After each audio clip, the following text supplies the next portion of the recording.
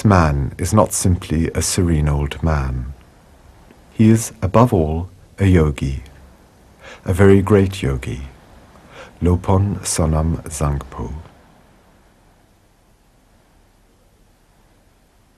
There are only three young people who, having successfully passed all the severe tests imposed on them, have been chosen to become disciples and allowed to receive their initiation from him.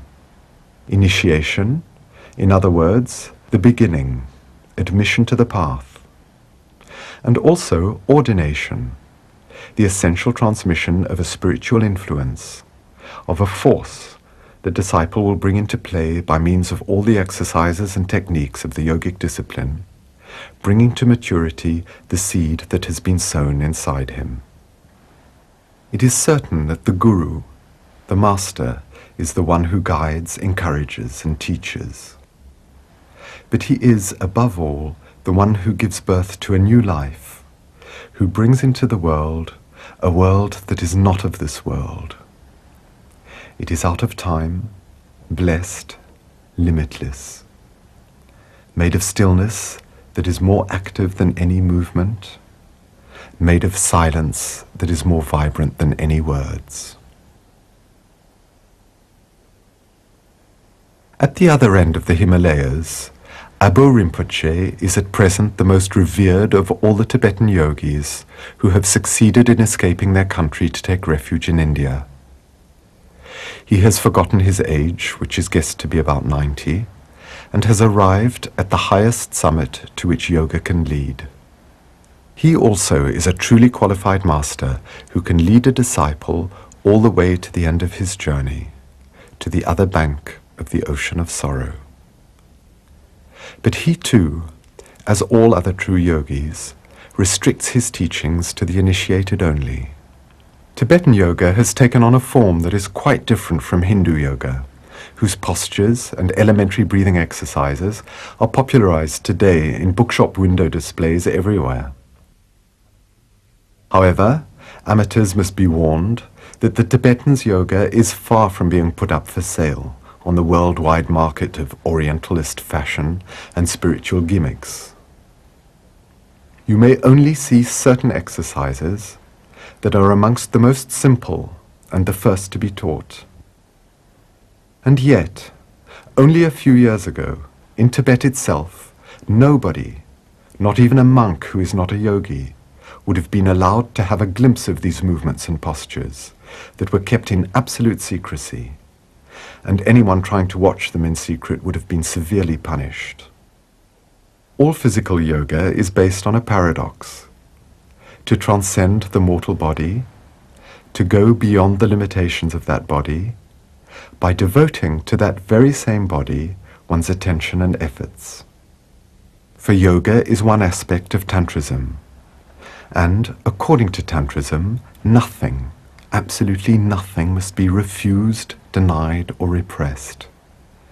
Everything must be accepted, integrated, and transformed like nature changes coal into diamonds, like the alchemists speak of changing lead into gold.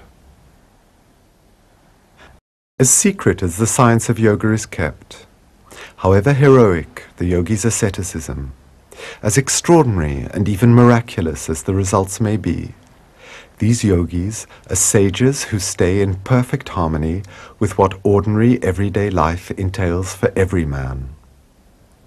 These two yogis, one from Ladakh and one from Bhutan, whose vision is beyond the veil of appearances, know above all things that they are one. They are playing their part perfectly, spontaneously, freely. They are completely aware of the present moment and are overflowing with serenity, joy, kindness, and compassion. For they are free from any trace of the past, whether conscious or subconscious and they are also free from the slightest preoccupation with the future. This magnificent dorje that is carefully protected in an antique silk drape has been held in Milarepa's own hands, the founder of the Order of Yogis. This is why it is handled with such respect and brought up to the forehead as a sign of veneration. This dorje is the emblem of supreme power, power which, for Tibetan sages, is always related to compassion. Not love that is founded on emotional impulse, capable of becoming its opposite and giving birth to selfishness, jealousy, hatred, and despair.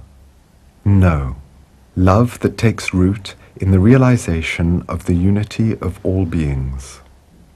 Having died completely the death of his own egoism, and of the belief in his individuality separate from others, the yogi can say, Because I no longer am, I am everybody, I am everything.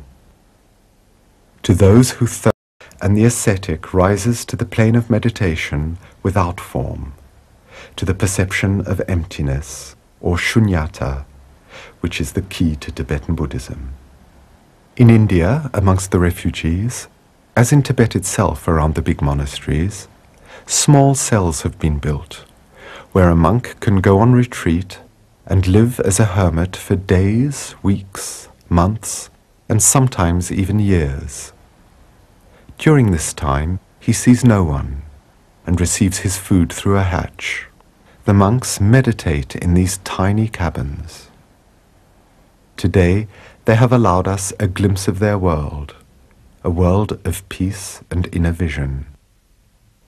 Some are still beginners, while others are advanced initiates.